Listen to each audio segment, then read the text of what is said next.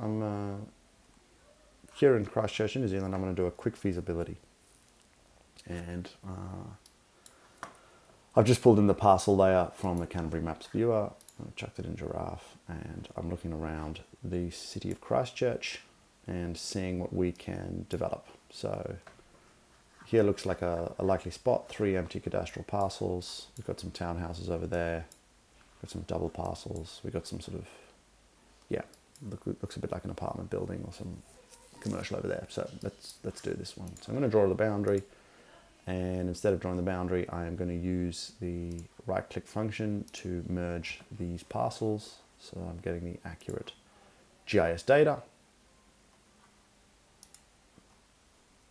Merge. And you. Okay, and I'm going to save this project, 241 Hereford, Her Hereford Street. And I'm going to go there. I could pull the zoning in, etc., but for speed, I shall not. All right, now my plan is basically to draw one of those buildings over here, one over here, basically an upside down U shape, um, and then put a bit of surface parking at the front and some landscape and then cost it up. So let's go. Now I'm kind of matching the size and scale of those buildings. I'm going to use this garden apartments typology and I'm matching their setbacks as well, which is why I always say the satellite image is the developer's best friend. Because if he can do it, why can't you? All right, three stories. We're going to go two, and then I'm going to draw a rectangle over here that I'm going to say is a landscape. Simple. And that's good. And then I'm going to draw a plaza at front. 197 square meters. I could chuck some parking bays on this guy. Uh, just to see what I can get. Choose reference edge. Hmm. Hmm. Maybe we need to be a bit wider. Okay, that's good. I can at least go back to back. I'll spin this guy around so I get what I want. Um, but that's quite a lot of parking. I'll move this guy over a bit. This is the kind of classic like test fit problem. Um, you say, oh, can we, can we, no, too short. Okay. So we've got what we wanted. Um, now we're just going to play around with the figures. So we've got 19,055, 1955 square meters GFA of garden apartment. Um, so if we go to the garden apartment usage, uh, we can see the assumptions. So our, our, our assumption is 90% efficient, and then it's 80% cell efficient, as in 90% uh, including corridors and 80% excluding. I'm actually just going to set it to 100, 100 because in this instance we're going to use this typology to represent um, sort of row houses. Of course, I could make a new one, which would probably be smart, but we're, we're committed now. Then I'm going to change the residential mix to 100% three beds, and I'm going to set the size of those three beds to um, 130 square meters. And the price I'm going to set to $950,000, 950, one, two, three. I don't know if that's anywhere close, but you would. So you'd put that in, 950 square meters. And now you can see we get 17 uh, three beds in this, in this development. If we go an extra level, we're up to 20. All right. And now we can actually start running the, the feaso. And so I'm just going to open our default one and go through it. And the sales feasibility can go to the bottom. Costs first, income second. Okay, let's go through it. So our hard cost is showing $4.4 million and it's saying that we're building the garden apartments for 2000 a square meter. So let's say that's wrong. Let's say it's more. Um, let's say it's 3000 square meter. So I'm just going to shortcut into the, into the usages and change that. So our hard cost now jumped to 6 million. And if we come across, we can see our landscape is picked up in this calculation as well. And it's at 300 and our plaza is at 100. So we'll change the plaza as well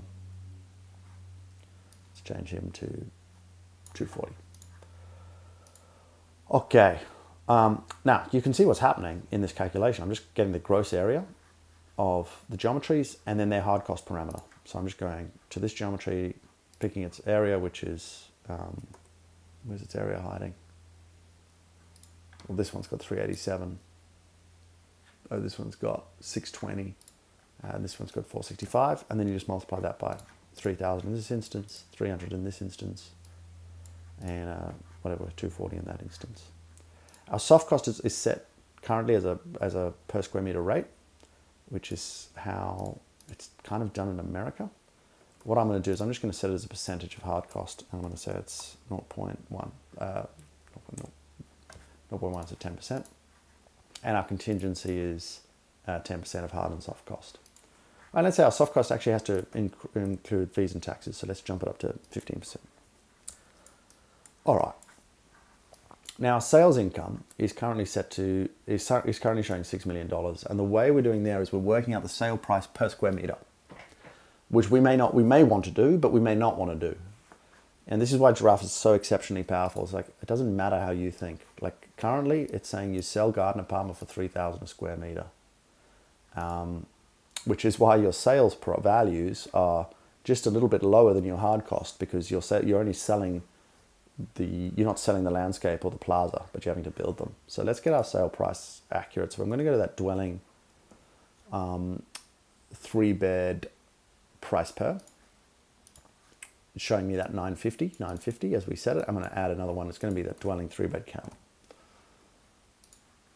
And I'm just going to go times A times B. So you can see it's only got two um, geometries, two terms in this equation because it's only picking up the garden apartments and there's only two garden apartment geometries. So if I were to break this one up like this and say, okay, I'm going to have to do a separate building over there and it's going to be garden apartments, two levels. Then if we come to the sales values, now there's one of three because we've got that additional garden apartment. Right, so sales values, uh, 15 million and non-residential sales of none. So, you know, if this guy was retail or something like that, potentially there'd be some non-residential sales. Or management fees, like, I don't know, the other stuff that you can sort of go. So our total sales is $15 million. Now, our target return is 20, 20%, and our, resi our residual land cost now becomes $4.5 million. And we're just working that out by saying, hey, our total sales is 15 million, our total cost is, is 8 million, and we want to make 20% return. So how much can we spend on the land such that 8 million of cost plus the land plus 20% of both of those things combined equals 15 million. And, and that number turns out to be 4 million 558 so you should offer that right now 4.5 million on this land. You can you can return you can make a 2.5 million return which is return on cost of you know on your cost of 8 million bucks 20% so i think that is is, you know, I think this is really quick. You know, we're eight minutes in, and I've done a scheme, and I've done the um, returns and the the feaso, and um, I think that's pretty powerful. And now this return calculation, which I'm saying, um, yeah, so so eight point one plus two point five, uh, you know, two point five divided by eight point one plus two point five should be twenty percent. Um, but again, if you want to think about return differently and you're unhappy with my calculations, which you would be wise to be, all this is is just maths. This is just some really basic formulas. So, you know, solve for x, get your Excel, you know, copy paste it into here, and you get this feasibility. And so now I'm going to show you in the last 30 seconds how crazy powerful this is because now I can just go option two and I'll copy all of this stuff and, and hide the default option and paste it on option two and do something like this. So now we maybe go to the, the council and say, hey, can we do like, you know, this thing where we're not overshadowing anyone because we've pushed all the built form to the, the end. And what we'll do as well is we'll make a much, we'll put a sub, you know, we'll put a lot more um, park and it's walkable. So we'll eliminate some of those car parks, like dense urban core doing some more landscape. And what I can do now is I can, you know, configure my output. And if I just wait a red hot second, we'll see that I've got these two different um, options and the feasibility is run on both of them. So that, you know, now I'm making 3.8 million for this, this option. And um, even if the council asked me to come down a little bit, uh, it's, it's more profitable to do this, even including the additional, the additional costs um, than it is to do the first. And so that's how, you know, that's how you just you just run options, you test designs, you engage the councils at the same time as doing the numbers. Um, is really really cool.